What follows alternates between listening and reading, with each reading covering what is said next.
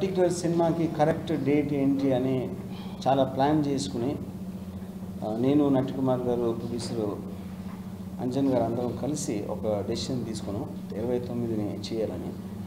కానీ దాని తర్వాత వేరియస్ ఫోర్సెస్ అంటే అది సెన్సార్ ఆఫీస్ రావచ్చు ఎవరో Indrasena Chowdary whatever is name ఇంకోళ్ళు మన గ్రేట్ కే పాల్ వీళ్ళందరూ కలిసి క్రియేట్ చేసిన ఒక ప్రాబ్లమ్స్ తోటి ఆల్మోస్ట్ uh, అంటే డే టు డే ఒక క్రైసిస్ ఫీల్ అయ్యి మొత్తానికి అనుకున్న దానికన్నా రెండు వారాలు లేటర్ రిలీజ్ uh, చేయడం జరిగింది.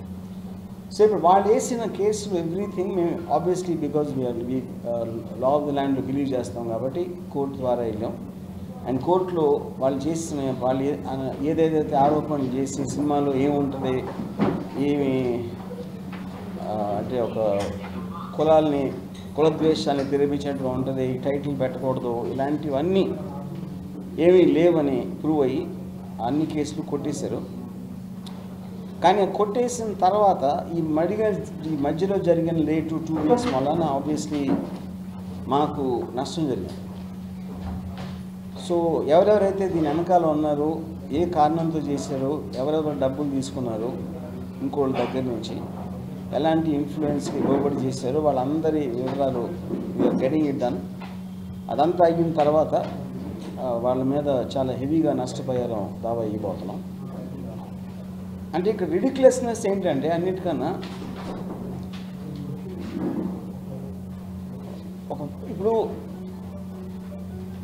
కమ్మ రాజ్యంలో కడప రెడ్లు అనే టైటిల్ ఫస్ట్లో పెట్టుకున్నప్పుడు ద్వేషం ఉందంటే ద్వేషం లేదు అని యువర్ గివింగ్ టు గివ్ సినిమాలో కాస్ట్ గురించి మాట్లాడటం కానీ ఈ కాస్ట్ పెద్ద గొప్ప అని ఈ కాస్ట్ తక్కువ అని చెప్పి ఉండదు అని చాలా క్లారిటీ చెప్పాను. ఇవాళ రిలీజ్ అయిన తర్వాత అందరికీ కూడా అది తెలిసింది కానీ అలా ఉంటుందేమో అని ఊరు పేరు అసలు ఈ సినిమాకి సంబంధం లేని పార్టీలకు సంబంధం లేని కేవలం ఏదో ఒక ప్రాబ్లం క్రియేట్ చేయాలి లేకపోతే వెనకాల నుంచి ఎవరో ప్రాబ్లం బలాన్ని చేసినందుకు వాడిని ఊరికి వదిలేసే క్వశ్చన్ లేదు.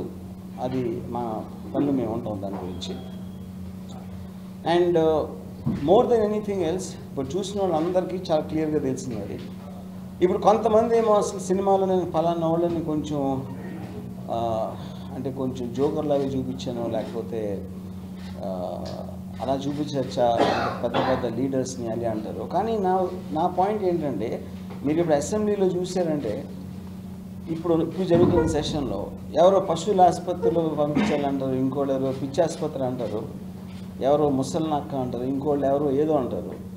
సో మామూలుగా రియల్ టైంలో పొలిటికల్ పీపుల్ కానీ సెలబ్రిటీస్ ఒకళ్ళనొకళ్ళను ఎంత దారుణంగా మాట్లాడుంటారు రియల్ సిచ్యువేషన్లో ఇది ఒక సినిమా ఒక ఫిక్షనల్ స్టోరీ దాంట్లో నాకు తెలిసి టెన్ టెన్ పర్సెంట్ కూడా అయి ఉండదు సినిమాలో. కానీ అప్పుడేంటి స్వాత్ వాక్ స్వాతంత్రం ఫ్రీడమ్ ఆఫ్ ఎక్స్ప్రెషన్ అనే దాని మీనింగ్ ఏంటంటే ఎవరినైనా అఫెండ్ చేసినప్పుడే మీకు ఫ్రీడమ్ కావాలి. అఫెండ్ చేయకపోతే ఫ్రీడమ్ అనే దానికి మీనింగ్ లేదు. అది ఒక్కటి చాలా మంది అసలు అర్థం కాదు. సో మనం పొద్దున్న లెగిస్తే మనం అవ్వచ్చు పొలిటికల్ లీడర్స్ అవ్వచ్చు. ఎవరో ఒకరు ఎవరో ఒకరి గురించి కామెంట్ చేస్తూనే ఉంటారు. వినేవాళ్ళు వింటారు విన్నోళ్ళు వినరు. But like water finds it own level at the end of the day నిజం అనేది తెలుస్తుంది.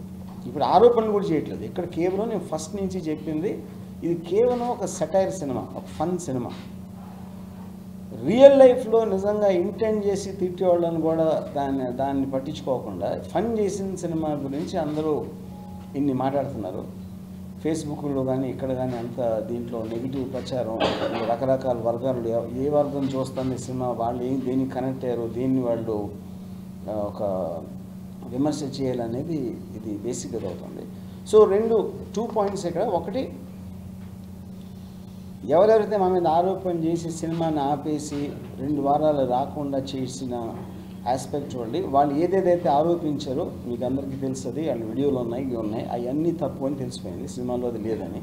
ఇప్పుడు వాళ్ళు మాట్లాడలేదు ఎవరు దాని గురించి. కానీ రిలీజ్కి ముందు రోజు వరకు కోర్టు ఆర్డర్ వచ్చిన తర్వాత కూడా ఇంకా ది ట్రై టు డిఫేమేట్ మేము కోర్టుకి అది అబద్ధం చెప్పాము. అసలు సినిమాలో ఉన్నది లేకుండా అంటే మరీ కోర్టులు అంటే అంత అదవలనా? అది ఉద్దేశం.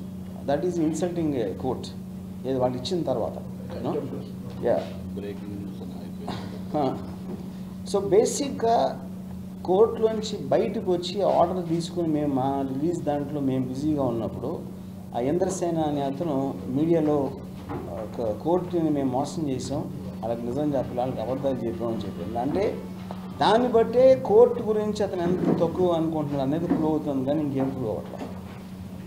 సరే ఆల్ థింగ్స్ సెట్ అంటే నేను కొంచెం లేట్గా దీని మీద చెప్తే నేను కంట్రీలో లేను నేను చైనాలో ఉన్నాను వేరే షూటింగ్లో నేను ఇవాళ ఇవాళ పొద్దున్న వచ్చాను. సో బేసిక్లీ ఒక త్రీ ఎలిమెంట్స్ ఒకటే మా మీద ఈ కేసులు పెట్టి డీలే చేయడానికి ఒకటి.